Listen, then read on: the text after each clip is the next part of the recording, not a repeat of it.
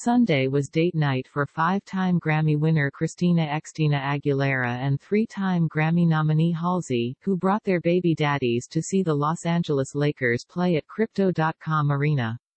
And while the beloved home team lost to the Memphis Grizzlies 127 to 119, power forward LeBron James passed Hall of Famer Oscar Robertson for the seventh most assists in NBA history. The 41-year-old RB Belter strolled into the venue formerly known as Staples Center on the arm of her fiancé of seven years, Matthew Rutler, who's the father of her seven-year-old daughter Summer Rain. Christina and the 36-year-old Masterclass executive VP coordinated in matching black ensembles, including face masks, for the basketball game. Aguilera bundled up in a large leather jacket over a clingy top tucked into $168 Deadly Doll dolled up pants designed by Jesse Jo Stark, the Staten Island-born, half-Ecuadorian singer, rocking a fully contoured complexion, fastened a faux ponytail to her slicked back platinum blonde locks.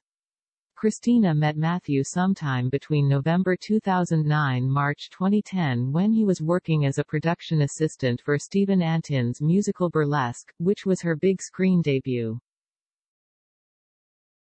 Six months later, Aguilera filed for divorce from marketing executive Jordan Bratman, and it was finalized in 2011. This Wednesday, the Somos Nada songstress will celebrate the 14th birthday of her son Max Liron Bratman from her five-year marriage. Meanwhile, Halsey flaunted her post-baby taut tummy while attending the game with her partner Alev Aydin.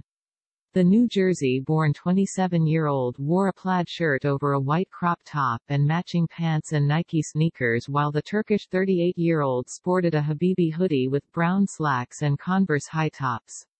Halsey, born Ashley Frangipane, was quickly swarmed by fans asking for selfies and autographs outside the stadium. The biracial, bisexual, and bipolar pop star made sure to wear a protective face mask while greeting her public amid the latest coronavirus surge. Halsey also covered up her natural raven pixie cut with a black Baker Boy cap. Once safely inside, the I Am Not a Woman, I Am a God hitmaker took her VIP seat courtside beside Alev.